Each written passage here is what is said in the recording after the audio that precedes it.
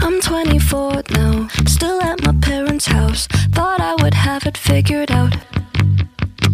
Friends getting married, one has a baby. I barely recognize this town.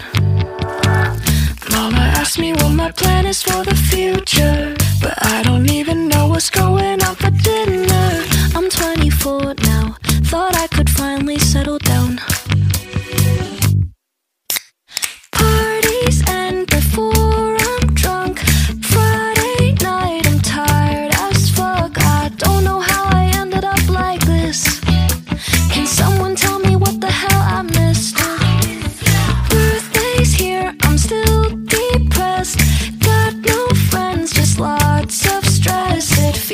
yesterday when we were kids.